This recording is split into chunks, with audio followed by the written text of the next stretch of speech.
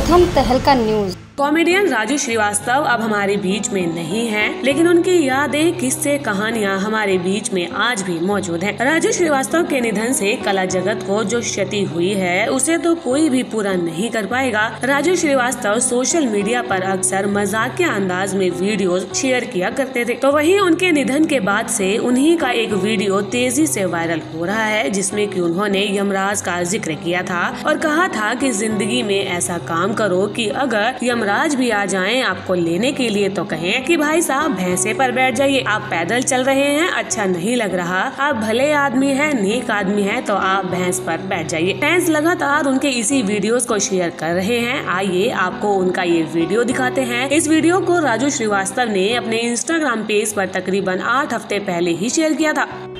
नमस्कार। कुछ नहीं, बस बैठे हैं। ज़िंदगी में ऐसा काम करो।